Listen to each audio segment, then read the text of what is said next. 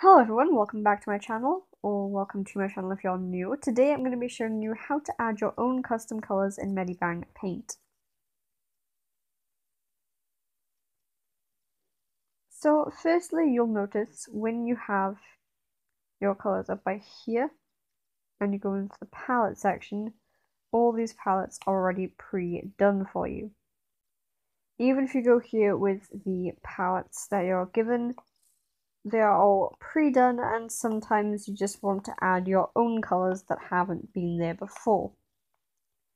To do this, you'll need to select from your palette 1, which is the only custom palette that you get. In my opinion, you should be able to do more custom palettes, but there's only one available for the moment.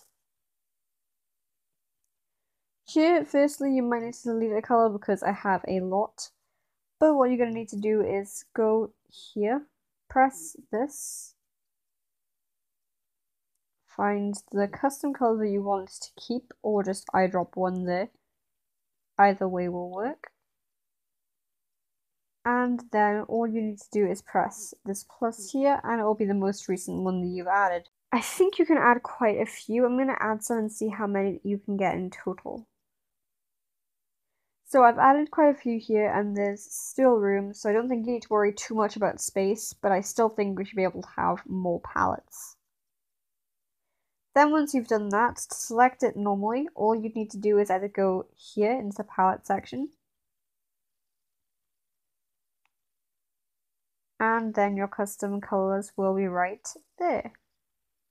Or you can go here, and you'll see the palette options available up here, unless you've already clicked on the palette that you have.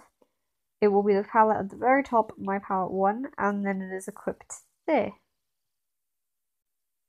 Thank you very much for watching, I hope that you found this video helpful. If you did, maybe consider supporting what I do by leaving a like, or commenting, or maybe even subscribing. Thank you very much for watching, stay safe, goodbye.